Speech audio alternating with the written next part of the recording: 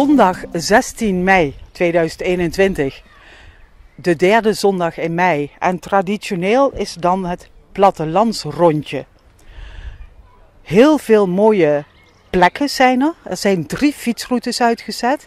En op heel veel plekken kan je, nou ja, kijken of iets te eten of te drinken krijgen. Horen wat voor activiteiten er zijn.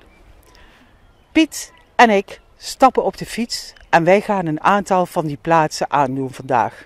Dus fietst u mee met het plattelandsrondje door het land van Kuik?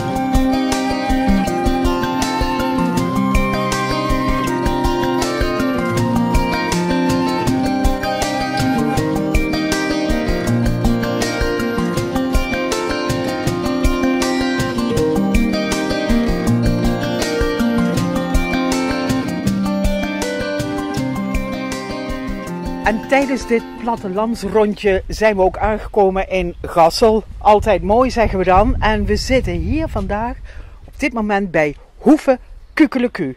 Nou, en bij mij zit Jeroen. Die heeft ons al voorzien van een heerlijk bakje koffie met appeltaart. Jeroen, wat is dit voor prachtige hoeve hier? Ja, allemaal hartelijk welkom bij uh, Hoeve. We zijn hier uh, te gast bij de familie Peter Siroen. Wij hebben hier een piepenwagen die ingericht is voor de wandelaar, fietser, voor een lekker kopje koffie. Het mooie hiervan is, dit is volledig op zelfbediening. Ja. We zitten aan de doorgaande weg. Um, niet precies in het dorp. En jij hebt het over zelfbediening. Ja, inderdaad. Wij zitten hier op de doorgaande weg, de Torenstraat. Dus voor de mensen eigenlijk heel makkelijk. Houd de toren in de gaten van Gassel. En je rijdt richting uh, Mil. En dan vindt u tussen knooppunt 10 en 67 zijn wij. Ja. Achterzijde hebben we het Gassense Bos. Dus ook voor de wandelaar die het Gassense Bos lekker aan het wandelen is, kan ook een kopje koffie komen drinken. Ja. Het mooie van dit concept is dus, wij hebben de piepenwagen zeven dagen in de week open. Wilt u een kopje koffie drinken, wat fris, zelfs ijsjes, mits de temperatuur goed is, kunt u dus uh, met uw kleinkinderen hier lekker komen spelen op Hoeve Kukeleku.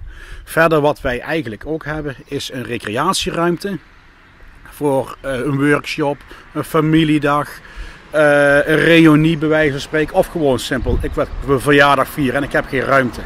Kunt u bij ons terecht, ook voor de recreatieruimte. Dat is eigenlijk Hoeve Kukeleku. Oké, dus het is echt binnen, maar ook vooral buiten te doen hier. Voor de, de toevallige voorbijganger of mensen die het hier kennen, kunnen hier gewoon terecht? Ja, ze kunnen hier ten alle tijde terecht. Voor iedereen is, iedereen is welkom.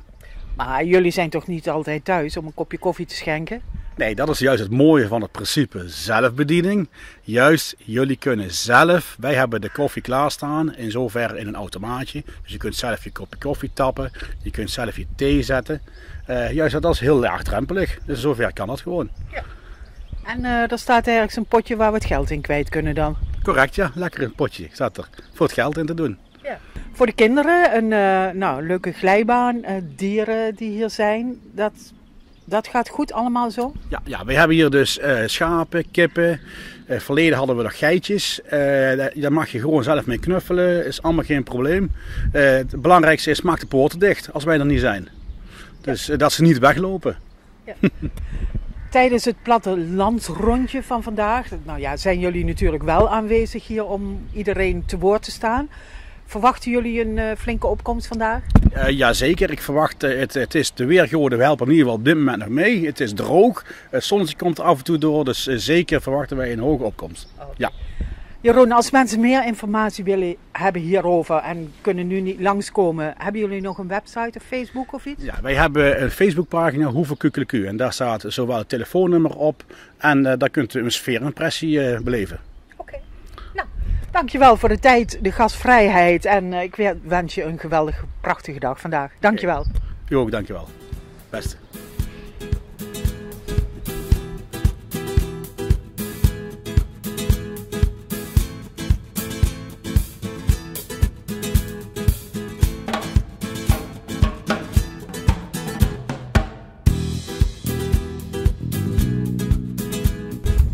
Ondertussen zijn wij aangekomen op uh, routeplek nummer 4, om het zo maar even te noemen, in Gassel. En uh, nou ja, Martine die staat eigenlijk hier bekend als uh, buurvrouw kookt. Want daar zijn we, dat is jouw bedrijf, ja, buurvrouw, buurvrouw kookt. kookt ja. Wat is dat precies? ja, wat ik doe, ik verzorg maaltijden, dagverse maaltijden. cateringklussen, ik kook op locatie, ik verzorg kookworkshops. Het is eigenlijk een beetje van alles op culinair gebied. Ja, ik heb een heel leuk weiland. We hebben het ook Chateau Weiland genoemd. Dus uh, de minder chique variant van uh, Martin Meiland. Uh, een heel leuk terras wat we daar hebben. ik heb daar een terrasje staan. Ik heb hier Barbie en Brit, onze varkentjes. Harry en Toos. Harry en Toos lopen voor het goede doel. Harry en Toos, wie zijn dat? Harry en Toos zijn de ezels. Oh. Dus, en Harry en Toos die lopen voor de Donkey Sanctuary. Dus de winst die ik ermee maakte gaat weer daarheen.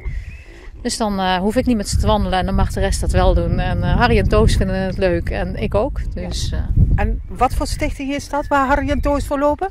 De Donkey Sanctuary. Die zorgen eigenlijk voor ezels die opgevangen moeten worden. Maar die geven ook educatie aan ezels in andere landen waar ze niet zo vriendelijk met ezels omgaan. Dus, ja. Dus mensen kunnen gewoon de ezels inhuren, zeg maar, om lekker een stuk mee te gaan wandelen.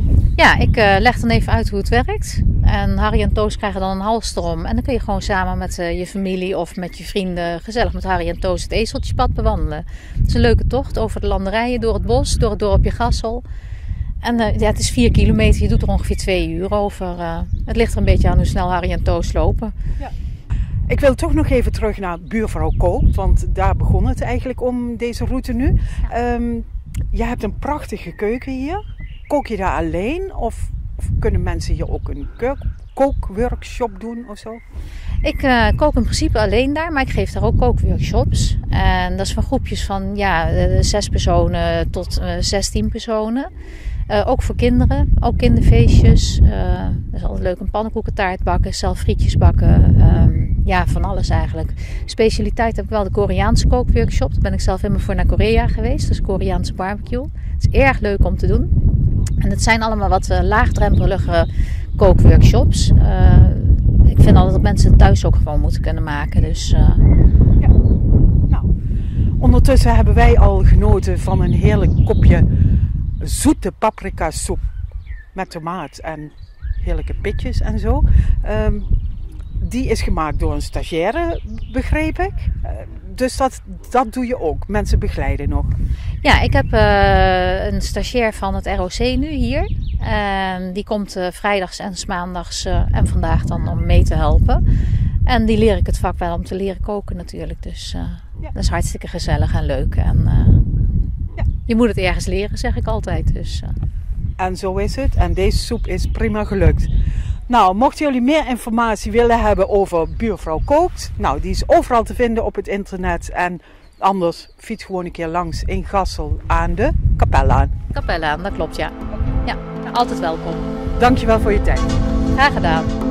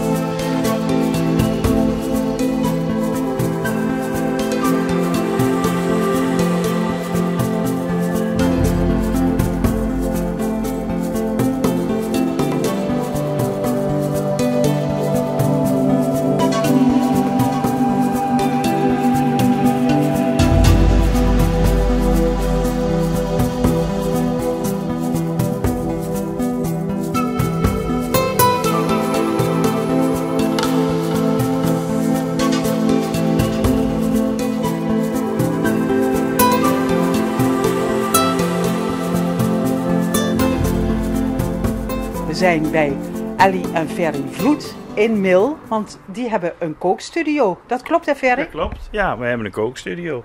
Ja. Met een binnen- en buitenkeuken. Vertel eens, wat doen jullie allemaal in de kookstudio? Eh, dat wat eh, de groep mensen die komen willen. Dus het is, menus worden aangepast op, eh, op het moment dat natuurlijk naar het seizoen gekeken. En dan wordt er gekeken van wat willen de mensen. Als er mensen zijn die met een hele groep komen die absoluut geen vis willen hebben, moet ik natuurlijk niet met een voorstel met vis komen. Nee. Op het ogenblik is natuurlijk voorjaar, aspergetijd, dus overal zitten wel ergens asperges bij. Dat is toch ook een van onze favoriete groenten daarvoor. Ja. Een echte voorjaarsgroente. Ja. En die is te koken, te bakken, te grillen. Daar kun je van alles mee doen. Dus dat past goed in het geheel van onze keuken. Ja. Inderdaad, want ik heb net een hapje van jou mogen proeven. Een heel bijzondere combinatie wat je doet, bijvoorbeeld al met asperges. Ja, voor mij is het heel gewoon. Een asperge met een stukje spek erom en even grillen. Ja. En ja, hapt heerlijk weg. Nu denk ik bij een kookstudio, denk ik van nou, je staat in de keuken met potten en pannen te rammelen en iets lekkers te maken. Maar jij staat hier buiten nu, op dit moment. Want, eh, nou ja, bij zo'n heel modern ding van tegenwoordig, hè, de Green Egg. De Big Green Egg, de Kamado, de, de, de barbecue die eh, veelzijdig is. Green Egg zegt zelf, het is de laatste barbecue die je koopt. Oh. Dus hij gaat ook een leven lang mee. Ja. Het is inderdaad een soort barbecue. En daarmee geef je dan ook kookworkshops of zo? Ja, ook, ook met de Green Egg eh, geven we workshops. En eh hetzelfde als met de Kwan, eh, de houtgestookte bakplaat. Dus meer open. Dit is gesloten, want dit kan ook als een ovenfunctie eh, eh, meegaan. En hier kun je heel makkelijk in roken. Ook die accessoires zijn er voor de Kwan. Maar dat is weer een, een heel ander verhaal. En in hout stoken is natuurlijk toch altijd lastiger als je in, midden in een woonwijk zit. Nou ja, jullie hebben het voordeel, je zit aan de rand van Mil, vlakbij het centrum wel. Ehm, maar hoe kom je ertoe om hier een kookstudio te maken? Eh, koken is altijd een beetje een hobby geweest. En eh, dat gaat langzaam groeien en dat wordt meer en groter. We hebben twee zoons die professioneel kok zijn. En ook eh, alle twee bij gerenommeerde zaken werken of gewerkt hebben. Onze derde zoon is in de elektro, maar ik zie hem graag in de keuken. Want die, die heeft het ook meegekregen. En van het een komt het ander, je groeit er naar uit. Dan ga je met vrienden koken. en die vriendengroep die wordt groter en dan krijg je op een gegeven moment de kookstudio. En wat voor mensen komen hier nu allemaal?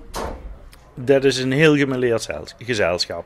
Het is eh, een, een vriendengroep van eh, eh, ja, grote vriendengroepen, maar het kan ook een, een tennisclub zijn die zeggen van we willen een uitje hebben. Of eh, de, de hockeyclub, eh, eh, leerkrachten van een school die met elkaar eens een keer anders iets willen doen.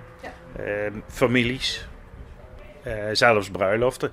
Kijk. Dat ze in, zeker omdat het kleinschalig vaak is, eh, 25, eh, 30, 40 jaar getrouwd. Die, er zijn geen feesten meer met 100 man. Nee. En als ze dan zeggen we zijn wel met 20, kan dat. In combinatie met buiten erbij in de zomermaanden kunnen we heel veel doen. Ja, ja. Maar dat is een maximaal ongeveer 20 mensen hier. In, in- normaal zeg ik altijd 8 tot 16 personen is het mooiste. Maar met een beetje buitenwerk erbij, dan kunnen we tot 20 gaan. Ja. Stoelen hebben we ervoor. Kijk. Nou, en de locatie is prachtig, dus wat wil je nog meer? Ferry, kunnen we jou nog ergens terugvinden op het internet of zo, als mensen meer informatie willen hebben? Eh, er is een nieuwe site aan het komen, maar onder eh Ferry Vloed vind je me. En dan kun je toch alle gegevens al eh, vinden die je nodig hebt. En anders kun je me altijd even mailen of bellen. Kijk. En dat staat wel op internet. Oké, nou dankjewel voor de tijd. Dankjewel aan jullie kant. En neem nog even een hapje. hè. Gaan we zeker doen. Dankjewel. Ook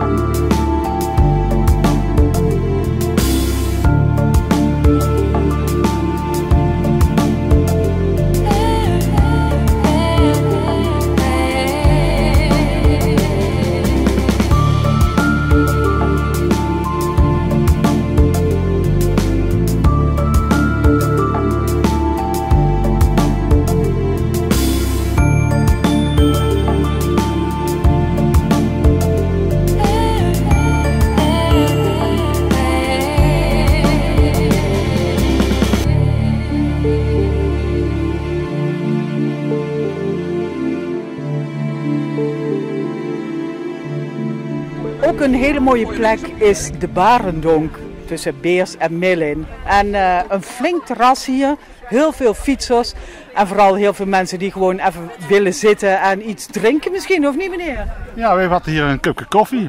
Ja, en lekker. Lekker best. We hebben 20. Nou, aan de koffie.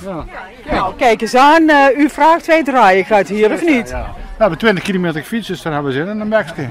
Ja. En waar zijn jullie al overal geweest? We zijn geweest bij de kloostertuinen, uh, Staarten en Burgen zijn we geweest. En nu stoppen we hier. En dan gaan we daar naar de 10 morgen. Oh nee, dan naar... Uh... We gaan dadelijk uh, naar de, uh, hoe heet het? Tongelaar. De Tongelaar. Tongelaar. En vervolgens ook nog langs de 10 morgen. 10 Want morgen. dat is het ook op de route, hè? Ja, en dan willen we nog een zeilen voor een euro. Wat willen we? Zeilen voor een euro. Bij uh, Keulemans. Keulemans en Lende. Nou, jullie hebben nog flinke plannen, maar gaat dat nog lukken in deze tijd, denk je? Uh, we hebben, het is Nou nog maar ja. twee uur, we hebben tot vier uur, de, zes uur de tijd, dus Ja. dat gaat lukken. Dat gaat lukken. Ja. Nee, dat denk Ja. ik wel. Dat Ja. denk ik wel. Ja. Nee, we hebben, wat dat betreft hebben we allemaal... eh, ja, Ja, dat lukt wel. We hebben een strakke planning, dus dat moet lukken. En zijn vrouw heeft vier uur de friet klaarstaan, dus dat komt allemaal nog goed niet.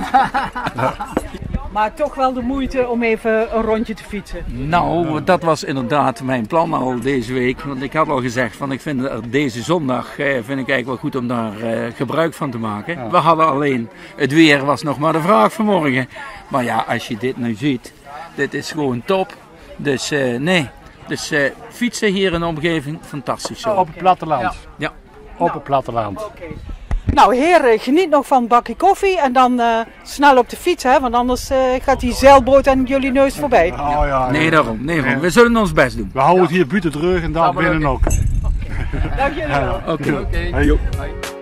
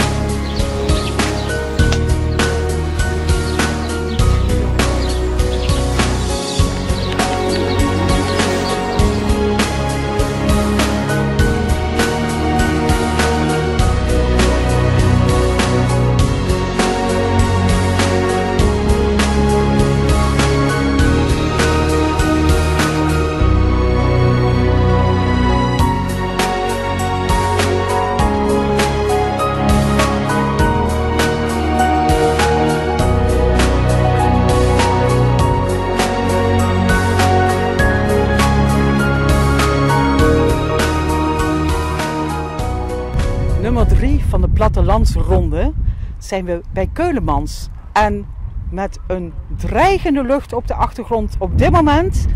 Maar we willen toch weten, een zeilschool is het hier, Jaap?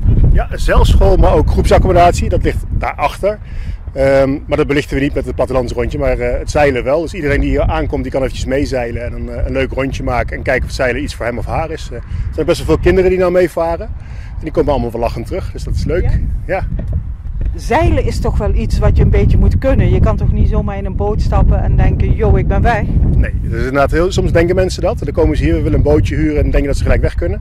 Maar vandaag gaan er ook instructeurs mee. eh, en die laten ook zien hoe je veilig heen en weer kan. Ehm, en we leggen ook altijd uit dat je niet in je eentje het water op moet gaan, want dan krijg je ongelukken. Dat is best wel gevaarlijk, ja. Maar dat leren jullie hier allemaal aan de mensen dus. Mensen kunnen hier cursussen volgen. Mensen kunnen hier cursussen volgen. We zijn eh, vandaag is plattelandsrondje, maar tegelijkertijd is ook de vaste cursus bezig. Dus er zijn eh, nu 16 cursisten die hebben de vierde les. Eh, en dat vaart allemaal door elkaar heen hier achter ons. eh, ja. Je zei ook al, we, we zijn een accommodatie. Wat bedoel je daarmee? Wat hebben jullie? Een, ja, het is een groepsaccommodatie. Veel mensen kennen dat woord niet, maar dat is een, eigenlijk een groot huis voor, voor groepen. Dus je hebt ook een eh, vakantiehuis voor, voor je gezin. Uh, maar groepsaccommodatie is een groot vakantiehuis voor je vriendengroep of voor je hele familie met opa en oma tot en met de kleinkinderen. Um, en dat is het afgelopen jaar wel lastig geweest met de groepsaccommodatie. Uh, maar hopelijk komt er nou weer een beetje beweging en een beetje ruimte om dat uh, te mogen gaan gebruiken. maar het zeilen dat, dat mag gewoon en dat, dat blijven we ook in ieder geval doen. En die groepaccommodatie die kun je huren, maar moet je dan ook een zeilcursus erbij doen? Of kan je daar ook gewoon als je een weekend hebt met wie dan ook?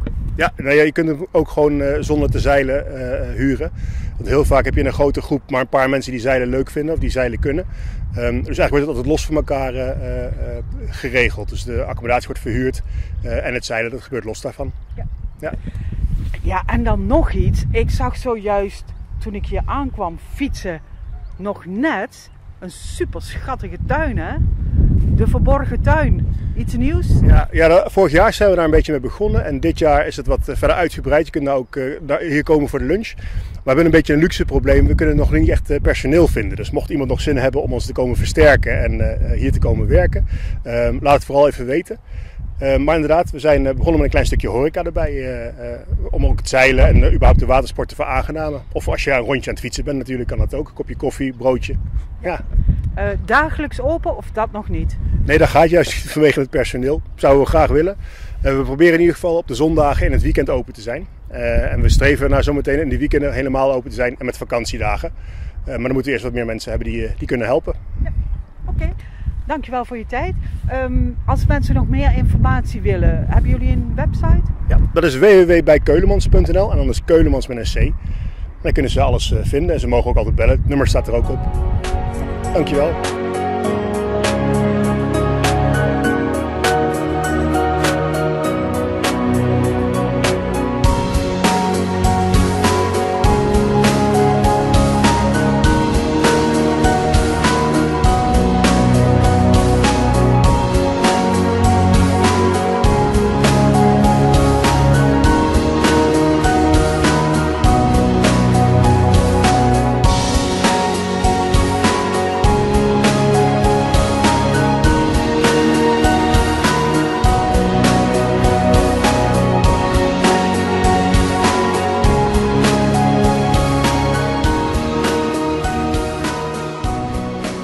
En dan zijn we weer bij Verdeliet aangekomen in onze eigen Valuwe. En bij mij Lisette. Hoe is het gegaan vandaag?